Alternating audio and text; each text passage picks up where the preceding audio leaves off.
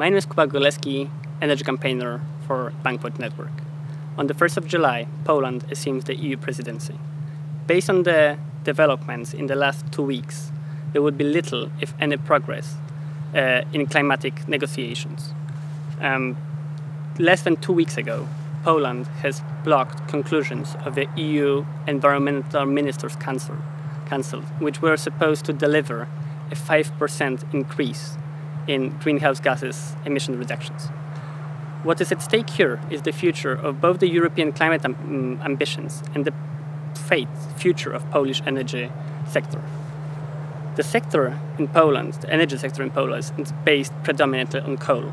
It's a very old, aging sector. 7,000 megawatts, which is more than a peak demand of energy in Scotland, will have to be phased out by 2015 what the government plans to replace those old, aging, polluting power plants are coal fired polluting power plants.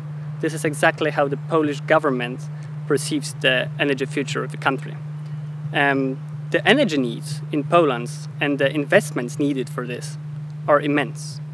They range from 45 to 90 billion uh, euros, which is a lot of money there is a place for international financial institutions like the European Investment Bank and European Bank of Reconstruction and Development to play here.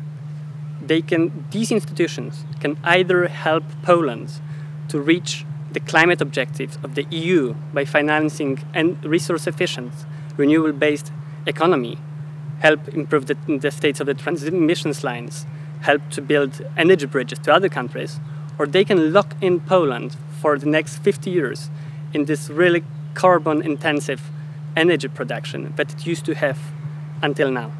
And there is a, we strongly encourage both international financial institutions to resist their temptation to provide lending for fossil fuel intensive industries and the business as usual.